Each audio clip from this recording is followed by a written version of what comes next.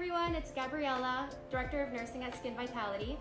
I just wanted to quickly explain Sculptra is a really, really good option if you're looking for something non-invasive to target the buttocks and, and different reasons as to why people choose Sculptra is to essentially help with hip dips, overall texture irregularities, dimpling, cellulite, uh, stretch marks. So again, as I mentioned earlier, it's a non-invasive treatment. There's really little risk associated with it. I mean, bruising, swelling, tenderness, these are all things that you should expect and that will subside on their own. Of course, you're not going under the knife with this treatment. It's very quick. You can continue your regular daily activities after. You can work out after. You can sit. You can go to the beach the next day. You can do all kinds of stuff.